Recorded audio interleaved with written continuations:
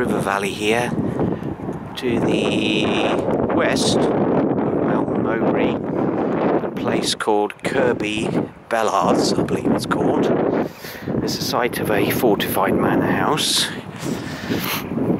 There is a large earth mound here. I'm not so sure that would be described as a motte. Fortified manor house. It could have had a could have had a, um, tower on top of an earth mound. Could have been built as a viewing platform, but I doubt it because um, it's not very flat on the top. It could have been. I'm on a footpath that goes right past it. The actual manor house is on the, or the site of the manor house, which is a um, rectangular enclosure, is on the other side of this. And there is a, uh,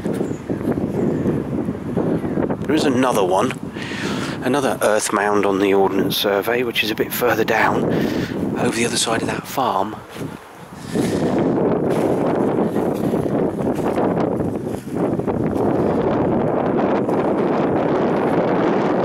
Sheep can get up here, but um, it's very, very slow.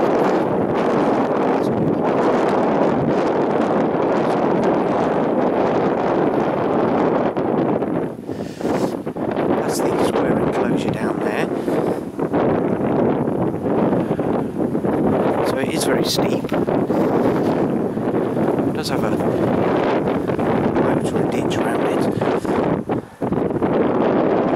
There is another earth mound over in just over there.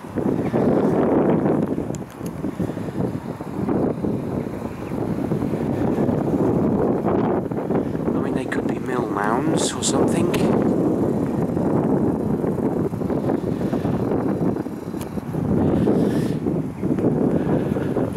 But there's an interesting enough features in the landscape to have a look at.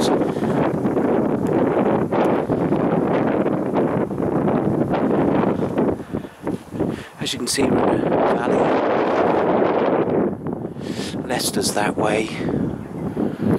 Melton Mowbray is just that way, just over there. Interesting little place. Kirby Bellars. And there's my little car parked over there in the distance.